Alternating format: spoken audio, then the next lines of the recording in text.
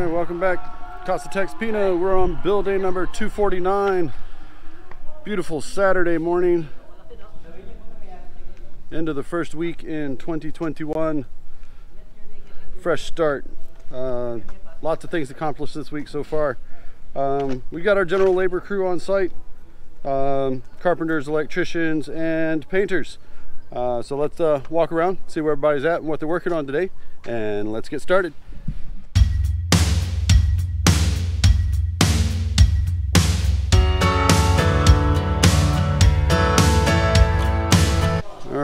Majority of our activities right out here in the garage area today. Um, our electricians are putting in all the wiring prerequisites requirements for our sliding gate motor as well as they will eventually get over to putting in the wiring that we require for the uh, overhead garage door that's going to be coming back that's going to be getting installed uh, so they've got to get all the wiring installed first then the um, contractor for uh, the sliding gate and garage door which is the same contractor um, for both items not for the house um, he will come out, verify that the wiring is, is good to go, and then schedule the installation from there. Um, Mr. Allen is continuing to work on the uh, drawers for the different locations throughout the house, and Mr. Uh, Wilson here is working on uh, final coat prep for the uh, main, for the master bath, sorry, for the master closet um, island so it's getting, work, getting ready to work on that. And then we've got two more um, painters over across the street, still sanding and prepping uh, a lot of cabinet doors and drawers. Everything that Mr. Allen has been fabricating, these two gentlemen over here are sanding and prepping in the CS the whole nine yards. So you got Mr. Uh, Mr. Henry and Mr. JR over here working on those. Some of the uh, painting operation for the last touches on the uh, master closet island have moved back indoors. Um, a little windy, too much dust out in the uh, um, out in the garage, so Mr. Wilson and the paint machine have moved back inside. Um, here they are almost done. He's getting ready to do the uh, clear coat finish over the top of it. Um, so we're going with the uh, Miss Emie wanted the light gray top, white on the sides, and the same border that we have around the rest of the house for the baseboards. Um, there are still drawers that are going to go in this. Um, three drawers on each side. Uh, so that's what Mr. Allen is out there working on in the garage area. All right, we're up in the uh, attic. Mr. Alex is doing a little pre-drill uh, where the holes are going to go or where the screws are going to go to start uh, fastening down some of these uh, boards. Uh, so he's doing a little pre-drill. Here, let me show you one of them. Right here. Just to get it to where it's uh, partially through so that the screws will be easier to put in later. The other thing going on up here is our electricians are up here and they're starting to route the wires and flexible conduit for the um, light that's going to go out above the uh, front porch and also the start routing the electrical outlets uh, that are going to go in the eaves. Uh, we've got one on all four corners and one here by the front door. That's going to help us with uh, being able to string up Christmas lights next year or anytime we want to be a little festive. And here in the uh, bedroom number two, um, Mr. Allen has been bringing it, starting to bring in some of the drawers. Uh, so we've got the sliding brackets on the sides. So the slides are there and they're gonna start placing those in here. So he's got another set of three to bring in and that'll fill out that side. And then he'll start putting the face plates on. So we'll catch that a little bit later this afternoon. Right, Mr. Cho, our main electrician out here, has been working on installing the photo cells for our uh, fence lights. So we've got one here. So when it gets dark on this side, these lights all come on on this side of the house up to here. And when it gets dark, these come on first thing in the morning. This is going to be the ones that go off first. And the other one for the for this side of the house is controlled on a separate switch um, from the north side of the house. So everything here on the north side is controlled by the photocell right up there. The little blue box right next to the big one. Right there. There's Mr. Allen putting on the uh, sliders for our drawers. So he's working on the drawers now for bedroom number two. We'll get them put on place on the drawers first and then go uh, install them inside the walk-in closet there in bedroom two on the other side of this wall.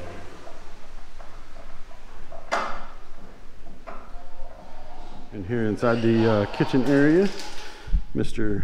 Chokoi is putting in uh, raceways for some of the electrical wiring so that our electric wiring like this going from the switch to our under cabinet LED lights is all hidden. So this way you don't have this ugly wire hanging down. So that's what Mr. Choco is working on over here. Get a better angle. Already all closed up. All right, here's the drawers going in the uh, bedroom two's walk-in closet. got five here, the one there. So he's got the first one put in. Now he's going to put in the uh, he's measuring to make sure that the faceplate works in place. So if not, he's got to do a little trimming, and he'll come back and hit that in a minute. All right, we had our uh, gas tank delivered today uh, this is the, nope, that's the little one. We had the big one delivered today and put into place. Um, we will connect it later uh, once everything else is done in the house and we start working. Um, talking with the, the delivery guy, he said on average with general usage, this tank could last anywhere from six months to a year. Uh, so just the one tank. Um, cost us, let's see, what was it? Um, $100 deposit. Well equivalent of a hundred dollar deposit so it was a 5,000 peso deposit. And uh, the first fill was 30 about 38 for uh, 3800 to almost 4,000 pesos. Um, so um, for $80 a year we've got all the gas we can use because the only thing that's on gas in this house is the uh, oven that's in the dirty kitchen, which we'll be using on occasion, but I don't think we'll use it as heavily or frequently as your typical Filipino family using all of their gadgets, uh, their cooking, uh, breakfast, lunch, and dinner. So uh, I think this is a good investment for us. It's going to uh, last for quite a while.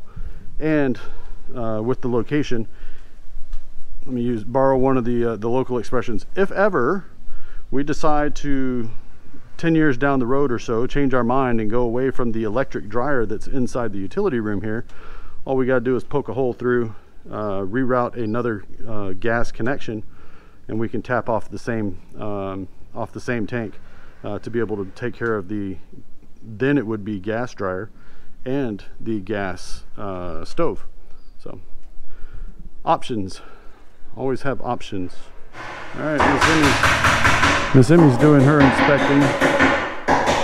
And uh, we've got the first set of three drawers in for the uh, bedroom number two's walk-in closet. The other three are out here, still working on it. Let's go look see what they're doing upstairs. All right, so uh, up in the attic also, we do have the prerequisite wiring in place that's what those little wires down there are for. Uh, for the um, garage door opener. And it's going to come back uh, 13 feet from the inside. And that's where the, uh, the motor is supposed to be located at. Uh, so that's all going to be done from the underneath side of the uh, garage. And then we'll be able to put these panels back into place. Um, notice we did start going ahead and uh, doing these set holes for being able to secure the flooring. Um, main reason being, somebody asked me and said, do we really need to put set screws? Uh, and I said, yes, we need to at least have the corners screwed down because if not, just walking over it, they do tend to move quite a bit. So it makes a lot of racket. Um, just being able to do it with set screws instead of the glue and screw. Uh, we're not putting any glue underneath it to hold it in place because we want to be able to pull these boards up at a later point uh, to be able to do maintenance. So if ever something happens and we need to get into the crawl space that's down on the sides and underneath here because we remember we got about a two to three foot crawl space it may be a little larger than that um, in between the floorboards up here in the attic and the ceiling uh, throughout the rest of the house. So that allows us to be able to just unscrew the, the corners, pull the boards up, and get back to doing some maintenance. Otherwise, um, the board stays secured and we don't have to worry about a lot of noise up here. All right, we got the um, prerequisite wiring all completed for the sliding gate motor and uh, what I showed you earlier upstairs in the attic for the garage door. Um, so now um, we've already put a call in to the uh, contract, the subcontractor for this, uh, for the sliding gate motor and the garage door, and they will be arriving sometime next week to inspect the wiring prior to making the schedule.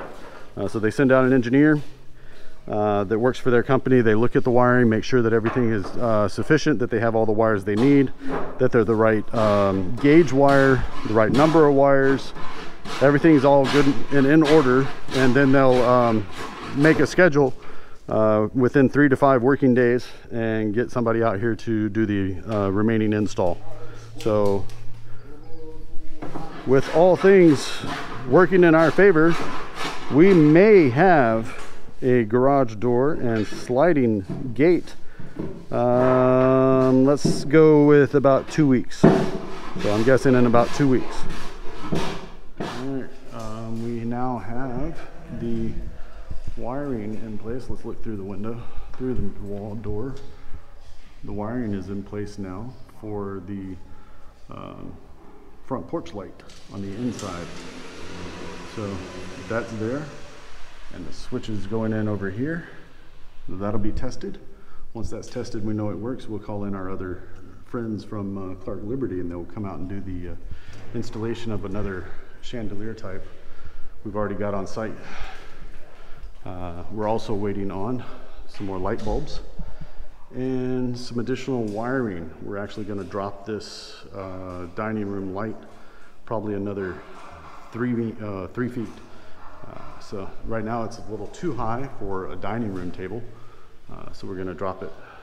And to be able to do that, I've got to get the uh, support wire and the electrical wire to be able to do that.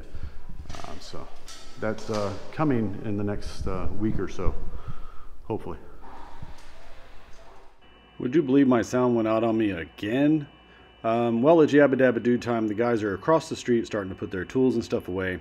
Um, we've had a pretty eventful week. Um, lots of electrical work done. The uh, plumbers wrapped up most of their work.